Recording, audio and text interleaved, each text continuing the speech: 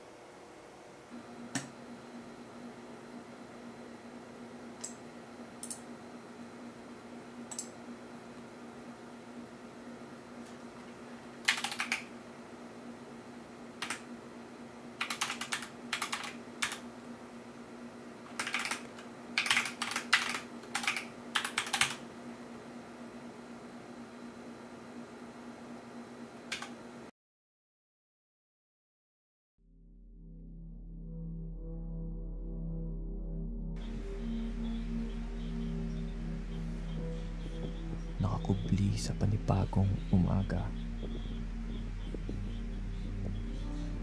Ang mga matang paulit-ulit lamang ang nakikita. Nakahiga sa kamang gawa sa panaghoy. Araw, buwan, at taon ay hindi makabangon. Isang taon nang nagtitiis sa tahanang tayo'y nakapiit. May tsansa pa bang umalpas? Ang buhay nating nasa lusak.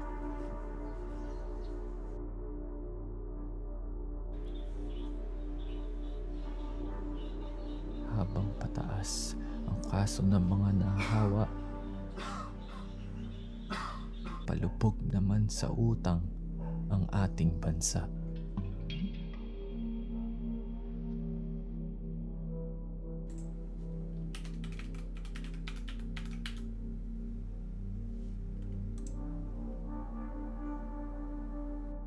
Dagdag pasakit sa mga maralita. Bawas kabuhayan sa mga gustong guminhawa. Hindi mapipigilan nitong maskara. Kulang na suporta sa trabahong esensyal. Huwag aasa sa bakunang tutuldok nitong sakuna. Bagkus sa may kapangyarihan na may utang na loob sa masa.